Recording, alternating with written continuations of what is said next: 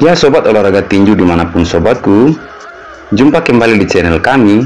Ya semoga sobatku semuanya dalam keadaan baik Sehat-sehat selalu dan juga dilancarkan rezekinya.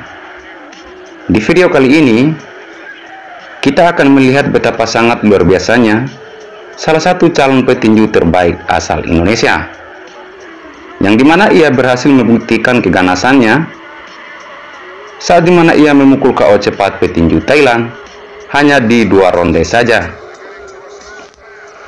Ya, petinju yang lahir pada Januari 2001 ini, ia merupakan pria kelahiran Ambon. Dan inilah salah satu duelnya yang tentunya sangat menarik, terutama untuk para sobatku pecinta tinju. Meski Aser Kevas Tauma masih minim bertarung di ring segi 4 Arjotos ini, dengan usia yang masih amat muda, ia baru melakukan empat pertarungan. Sedangkan yang menjadi lawannya dari Thailand, Jinawat, yang sudah melakoni 11 pertarungan, bukannya satu alasan untuk petinju kita mengalahkannya. Ya, dengan bukti yang sudah Asir tunjukkan, ia berhasil membuat rekor menjadi lima kali bertarung dan sekaligus menjadi juara baru Asia Silver. Meski juga namanya belum setenar petinju terbaik Indonesia lainnya, namun dengan usia mudanya Asir Tauma, suatu saat nanti dengan hasil yang sudah ia raih, pasti ia akan menjadi petinju top. Ya, gimana pendapat sobatku semuanya? Ya, sejak pertarungan ini dimulai, petinju kita Indonesia, Aser, yang tampil menekan, ia terus mendesak lawannya dengan melakukan pukulan kiri kanan dan terus menguasai jalannya pertarungan ini. Ya, meski petinju Thailand Jinawat dengan tinggi badan yang sedikit melebihi petinju kita bukannya satu halangan bagi petinju Indonesia untuk melakukan serangan-serangan ya terlihat satu pukulan yang mengena telak di wajah petinju Thailand membuatnya terjatuh dan ia harus menyelesaikan hitungan dari wasit.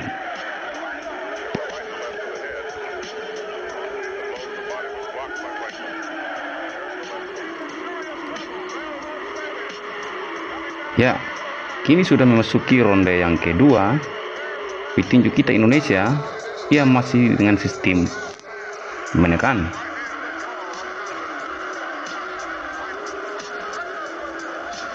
Ya, terlihat petinju dari Thailand ini ia hanya mengandalkan serangan balik.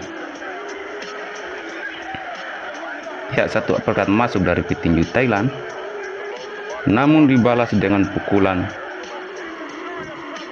bertubi-tubi dari petinju Indonesia. Ya 456 pukulan dari petinju Indonesia.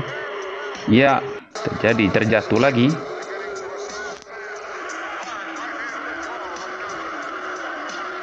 namun ia masih bisa melanjutkan pertarungan ini. Ya, petinju Indonesia terus melakukan serangan bertubi-tubi. Oh, akhirnya terjatuh lagi. Dan terlihat petinju Thailand ini nampaknya tidak bisa bangun lagi. Ya, petinju Indonesia Aser ia dinyatakan menang KO di ronde 2 ini. Ia dengan satu pukulan keras ke muka petinju Thailand yang membuat ia terjatuh dan nampaknya tidak bisa bangun lagi.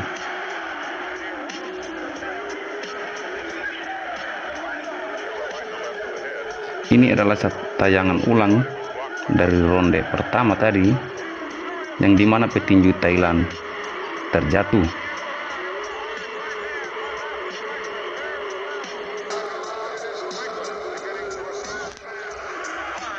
Ini untuk terjatuh yang kedua kali dari petinju Thailand.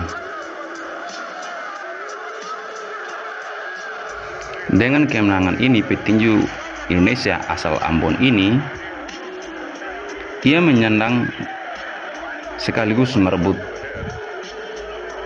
sabuk BBC Silver dan menjadi juara baru. Ya semoga Bang Asir ini menjadi petinju top di masa depan nanti. Ya terbukti dengan laga-laga yang sudah ia lakoni. Ya untuk para kita pecinta tinju tanah air, ya mari sama-sama kita dukung Bang Aser semoga menjadi petinju yang masa depannya Indonesia untuk membanggakan negeri kita tercinta ini.